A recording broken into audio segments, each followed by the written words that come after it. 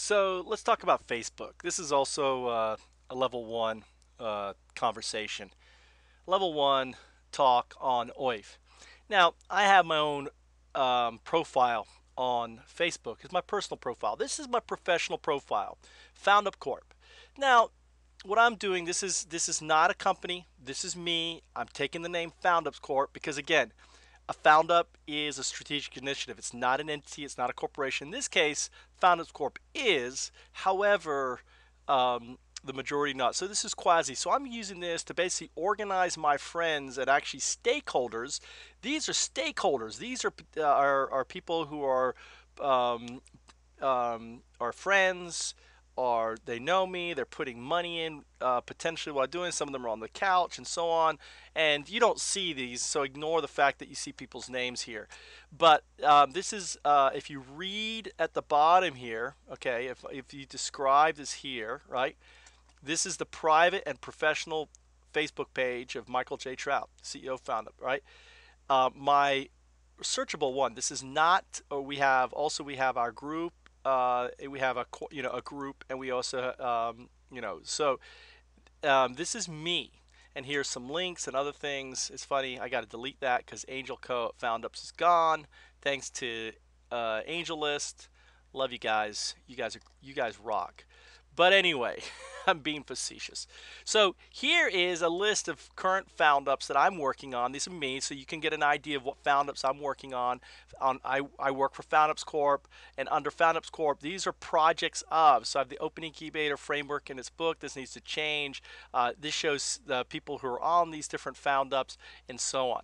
So let me show you a really cool thing. A couple things um, that you can actually do. What I like about this is let's say I'm on my, um, hold on, I'm going to my home page, right? I'm on my news feed. I'm going to drag this over here. Right, so this is my personal page. So, you know, um, I uploaded, right, uh, videos to found up. See, as soon as I start typing, there it is. I have a nice little hyperlink to my, to my FoundUps Corp Pro. professional and close, you know, professional uh, network, right? Check it out.